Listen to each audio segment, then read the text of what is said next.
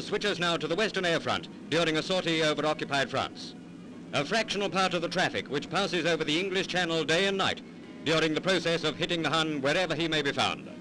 The Brittany coast passes beneath us as we head out with the RAF film unit during a raid on an enemy airfield at Morlaix.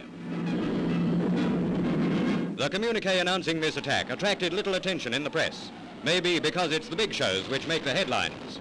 But it's these small-scale raids which pin down the Luftwaffe and help to make the heavy ones a success. Hidden among the trees are dispersed enemy planes. The Venturas have found their target, and another hornet's nest is made unusable for a while.